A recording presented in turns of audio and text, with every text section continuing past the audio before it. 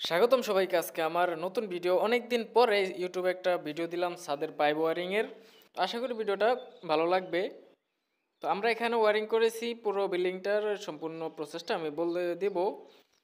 তো এখানে আমরা একটা রুমের ওয়ারিং করেছি, এখানে মাঝে মাঝখানে এটা হচ্ছে চার মুখের সার্কুলার বক্স পাশে একটা ফ্যান হুক দেখতে পাচ্ছেন, আর চার মুখ থেকে চারটা ওয়ালে চারটা পাইপ চলে গেছে। আর এখানে আসলে এদিকে দুই মুখের এক, তিন মুখের একটা বক্স এখান থেকে একটা আমরা ডিবিতে নিয়ে গেছি, আর এই পাশের একটা পাইপ এখানে যে ওয়ালটা আছে, ওয়ালটার দুই পাশে দুই রুমের দুইটা লাইট আর একটা চলে গেছে ডিবিতে। একটা মুখ দিয়ে আমরা ডিবিতে নিয়ে গেছি। ডান পাশের যে রুমটা আছে, এটার মেন লাইনের জন্য। আর এদিকে আসলে এখানেও সে একই সিস্টেম এখানের মেন লাইনটা তো ওই ডিবি থেকে এটা নিয়ে নেওয়া যাবে সুইচ বুটে তো এভাবে করে এখানে আরেকটা তিন মুখ দেওয়া হয়েছে। এই এখানে যে রুমটা আছে, এটার মেন লাইনের জন্য সুইচ বোর্ডের লাইনের জন্য। মেন লাইন একটা এখানে আনা হয়েছে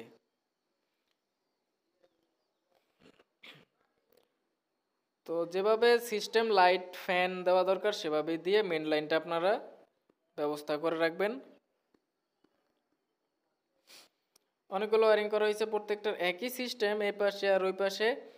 তো এখানেও সেই একই সিস্টেম তিন মুখ থেকে একটা লাইন ডিবির কাছে নিয়ে যাওয়া হয়েছে ওই যে ডিবিটা ওইখানে, সবগুলো পাইপ যেখানে পড়ছে। আর এদিকে একটু ব্যতিক্রম হয়েছে, কারণ এখানে একটা রান্নাঘর আর একটা বাথরুম আছে। সেই হিসাবে এখানে মেজারমেন্ট করে পাইপগুলো ওয়ারিং করতে হয়েছে।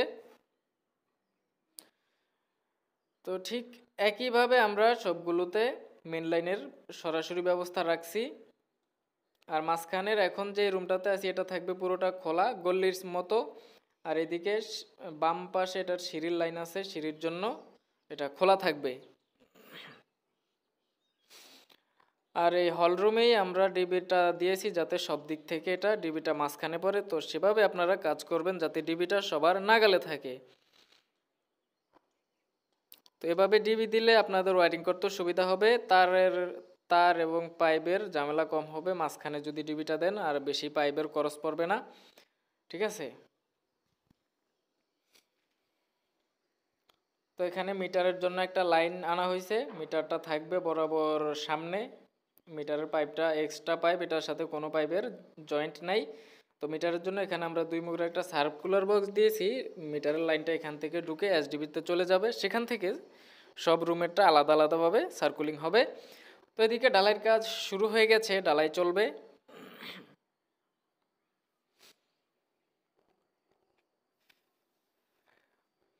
তো মূলত এভাবে আপনারা ওয়ারিংটা খুব ইজিলিভাবে করতে পারবেন। আশা করি আমার আরও ভিডিও আছে, সেগুলো দেখলেও মোটামুটি ধারণা পেয়ে যাবেন।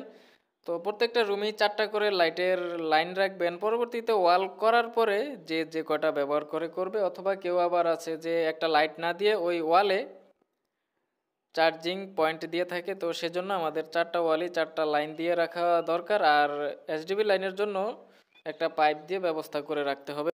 ধন্যবাদ সবাইকে ভালো থাকবেন।